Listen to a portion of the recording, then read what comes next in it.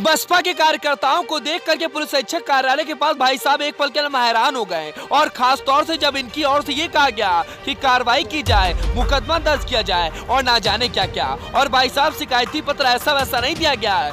सीधे बाराबंकी जनपद के भाजपा के वरिष्ठ नेता और यूँ कह लीजिए कि बाराबंकी जनपद के पूर्व चेयरमैन रह चुके। नगर पालिका के भाई साहब, बात तो समझ ही गए होंगे कि रंजीत बहादुर श्रीवास्तव के खिलाफ कार्रवाई की मांग की जा रही है। अब किस लिए? आप खुद ही सुन लीजिए कि आरपी गौतम क्या कह रहे हैं।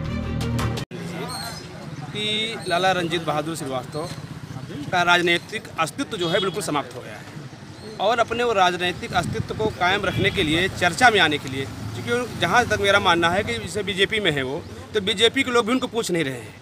तो अपनी वो पूछ कायम करने के लिए लोग चर्चा में आ जाएँ और कहीं ना कहीं उनको लोग सरकार के लोग पूछना शुरू करते बहुत बड़ा नेता है।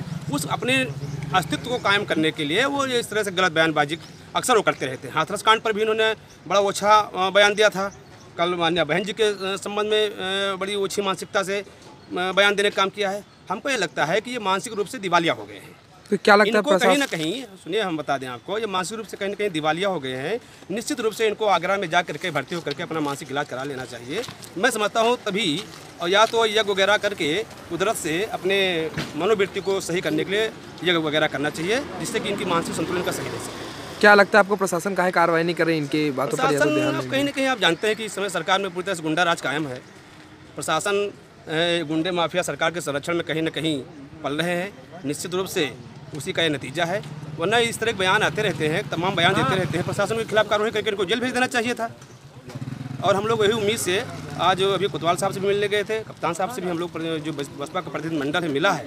और अधिकारियों से हम उम्मीद करते हैं कि ऐसे लोगों के खिलाफ ज़रूर कार्रवाई होगी।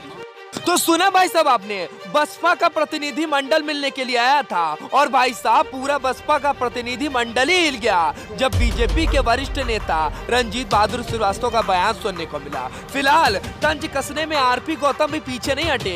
क्या क्या कह डाला, ये तो आपने सुन लिया। फ़िलहाल कुल मिलाकर यही है की आगे होता क्या, यही देखना है। पर फ़िलहाल बाराबंकी जनपद में उत्तर प्रदेश के लिए एबीएन न्यूज़ ट्वेंटी की रिपोर्ट। और इस तरह की दमदार खबरों के मैं चैनल को सब्सक्राइब करें। वीडियो पसंद आई होगी तो शेयर करना मत भूलिएगा।